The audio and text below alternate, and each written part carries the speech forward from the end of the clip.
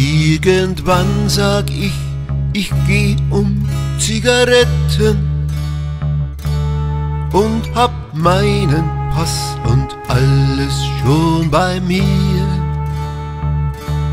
Und du rufst mir nach, das Essen ist gleich fertig. Und ich sag, ich komm gleich und geh durch die Tür. Und dann nehm ich mir ein Taxi zum Flugplatz. Und dort kauf ich mir ein Ticket weit, weit fort.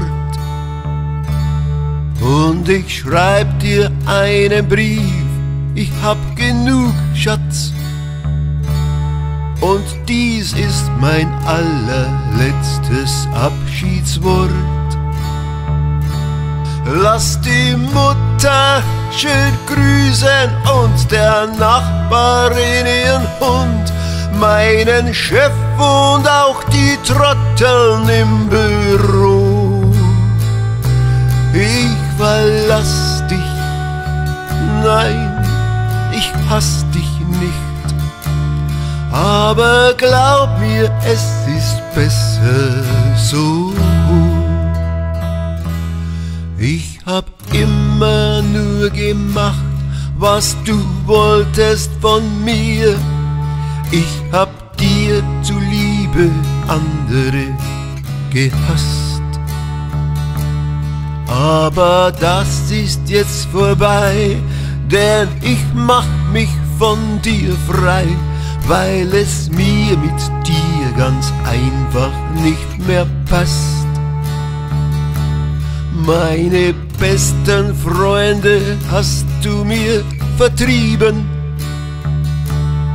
Meine Markensammlung hast du eingeheizt. Und im Bett dieselbe Szene mit der ewigen Migräne. Nein, du hast mich jetzt schon lang genug gereizt. Und heute gebe ich mir endlich die Freiheit, von der ich schon so lang träum. Kannst mich vergessen und wart nicht mit dem Essen, denn ich komm nie mehr heim. Für die Kinder tut's mir leid, das ist das Einzige. Denn die Kinder hängen wirklich sehr an mir. Aber ich hab keine Wahl, sonst erschlag ich dich einmal. Und ich will nicht ins Gefängnis wegen dir. Nein, ich will nicht ins Gefängnis wegen dir.